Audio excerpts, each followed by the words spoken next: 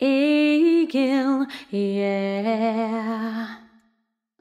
One happy birthday dot com.